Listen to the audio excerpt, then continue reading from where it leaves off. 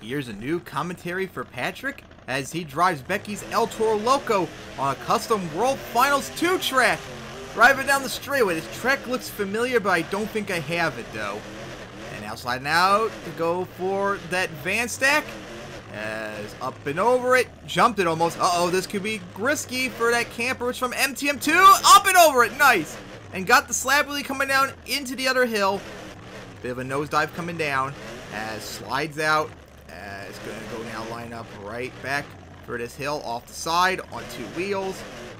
As we'll go now line up right for the back of the Vance. I mean center jump. Nice wheelie on the step up coming down. Beautiful. Remind me of the move um Cam McQueen did in 2011 World Finals 12. A move just like that. A huge air off the double. Watch out for the cars though. He's going to go into him. Kind of crooked. Now watch out for the semi-trailer. Into that car. Gonna go now for ooh, hit that. I'm pretty sure it's a jammer at an odd angle. Got over it. A step up on the one side, but it's a normal a jammer. This tabletop, crooked hit. Here we go, hard hit.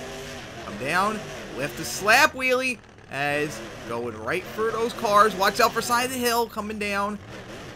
on two wheels. Watch out for the wall. Tapped it. Now for the center jump. As here we go, right for it, some huge air off it, landing on the top, the um pole, I mean not the pole, the racing finish line. And is this a backflip wall? Yep, it is. Crooked backflip though. Ooh, hard hit once again, but held on. Crawling up the side of the backflip wall.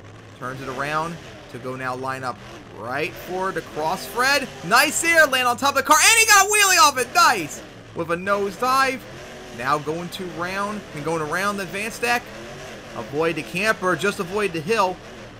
Man, what's he gonna do now? Is he just drive around obstacles and voiding them? Looks like for the semi-trailer, get on two wheels for the moment. Here we go, up and over the semi-trailer. Might have hit the trailer too a bit coming down. Right for this tabletop. Oh, he's gonna try for a reverse, a reverse backflip looks like.